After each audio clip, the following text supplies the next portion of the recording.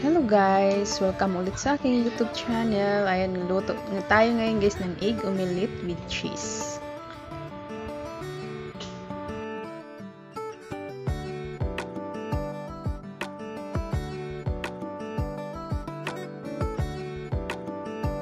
Ayan guys, egg, tomato, onion with cheese and salt. Ayan, papainit muna tayo ngayon ng ating kawali bago natin lagyan ng ating mantika syempre.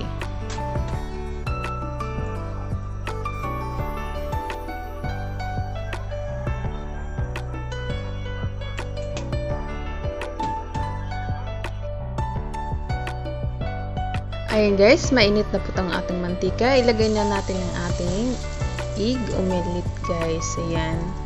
Siguradong magugustuhan ito ng buong pamilya, lalong-lalo na po ang ating chikiting.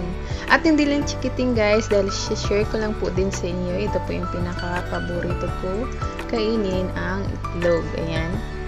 Bukod po sa masustansya ito, meron din po itong mga masustansyang nakahalong kamatis, onion, and cheese. Ayan. Perfect din po ito guys mga nagda-diet dyan kasi low carb lang po itong egg natin. Ayan guys. So, mahinang apoy lang po guys para hindi po masusunog. Ayan.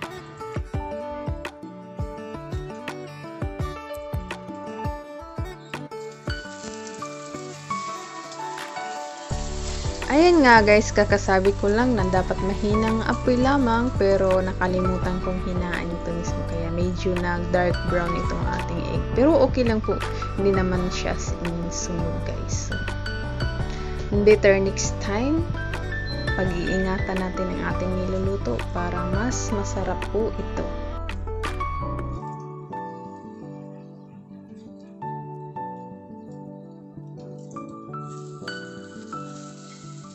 Ayan